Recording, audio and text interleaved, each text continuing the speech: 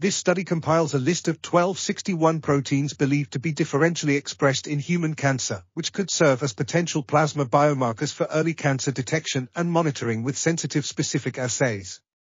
The candidates include proteins involved in various biological processes such as oncogenesis, angiogenesis, development, differentiation, proliferation, apoptosis, hematopoiesis, immune and hormonal responses, cell signaling, nucleotide function, hydrolysis, cellular homing, cell cycle and structure, the acute phase response, and hormonal control.